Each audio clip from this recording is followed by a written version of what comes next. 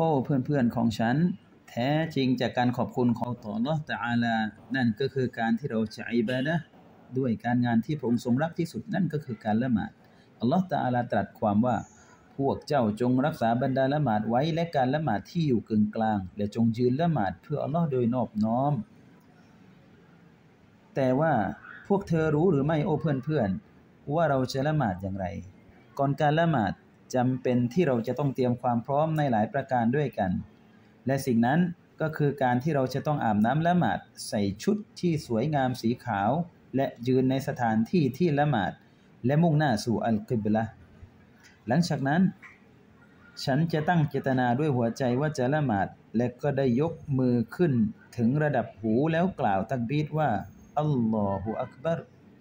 หลังจากนั้นฉันจะวางมือขวาบนมือซ้ายเหนือหน้าอก แล้วฉันก็จะอ่านสุรอัลฟาติฮะและก็อ่านกุรอานที่ฉันจำได้ หลังจากนั้นฉันจะทำการรุกัวโดยกล่าวว่าอัลลอฮฺอักบัรและกล่าวในขณะรุกัวว่าซุบฮานะรับบียัลอาซีมสามครั้งด้วยกัน หลังจากนั้นฉันก็จะเงยหน้าจากการรุกัวยืนตรงแล้วกล่าวว่าسمع الله لمن حمده ربنا ولك الحمد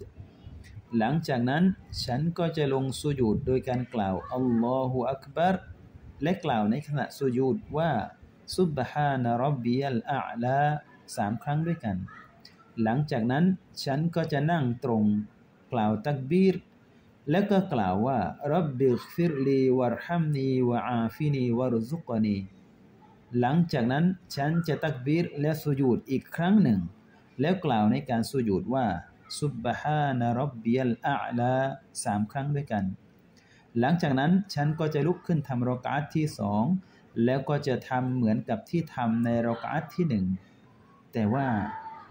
หลังจากการสุญูดครั้งที่สอง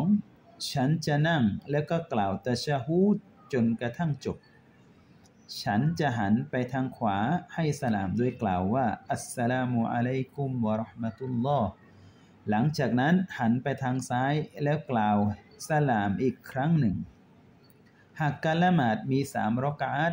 เช่นละหมาดมักริบ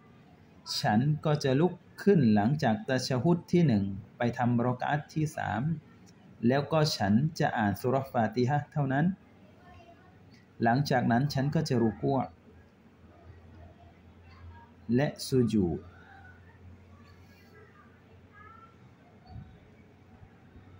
และนั่งเพื่ออ่านตะชะฮุดสุดท้าย หรือฉันจะลุกทำรอกอัตที่สี่หากการละหมาดนั้นมีสี่รอกอัตเช่นละหมาดอิชาหลังจากนั้นฉันก็จะนั่งลง และก็อ่านตะชะฮุดจนครบสมบูรณ์ หลังจากนั้นฉันก็จะให้สลามทางขวาโดยกล่าวว่า อัสสลามุอะลัยกุมวะราะห์มะตุลลอฮ์และให้สลามทางซ้ายว่า อัสสลามุอะลัยกุมวะราะห์มะตุลลอฮ์ด้วยเหตุนี้ แน่นอนว่าเราทำการละหมาดด้วยรูปแบบที่ถูกต้อง ขออัลลอฮ์ทรงตอบรับจากฉัน และพวกท่าน วัสสลามุอะลัยกุมวะราะห์มะตุลลอฮ์